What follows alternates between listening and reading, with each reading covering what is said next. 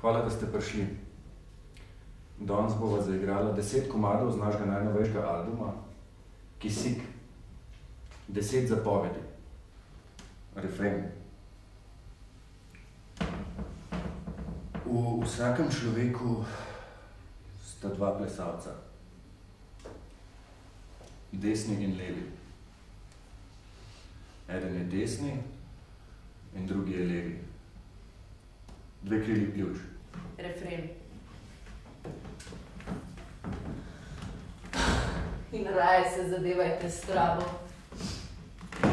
Jejte jabolka, pite sok.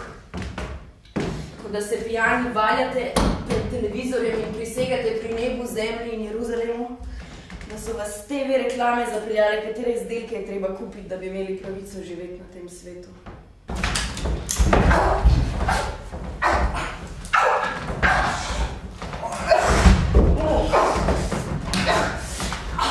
Enkrat po zimi sta sedla na vlak, da se pohodila. Vlak se je premaknil in po vagonih so zato bili glasovi prodajalcev, ki so ponujali pisala revije in baterije. In sta šla se pohodo. Sašo, rojstni kraj, mesto, kjer ljudje sredi belega dne mrtvo pijani padajo po tleh, kjer si mladež v vežah in stanovanjih zapada igle v prosojne vene nog. In zemlja je pomembna. Zato, ker v njej pokopljajo odvite v vojni. Vojna je zelo pomembna. Brez vojne se moški ne bi ukvarjali s športom, ženske se ne bi lepotičile in moški potem ne bi drug drugemu z orožjem razbijali glavo. Refren.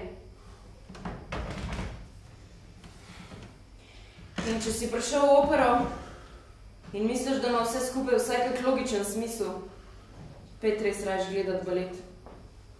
Zato, ker je na svetu kar nekaj baletov, v katerih ljudje v belih trikojih prepevajo. Podobno je z mano. Jem svinino, ker mi je všeč njen okus. In cenim kamelo, ker je simbol plemenitosti. Kaj, kaj ti zdaj odgovorim na to?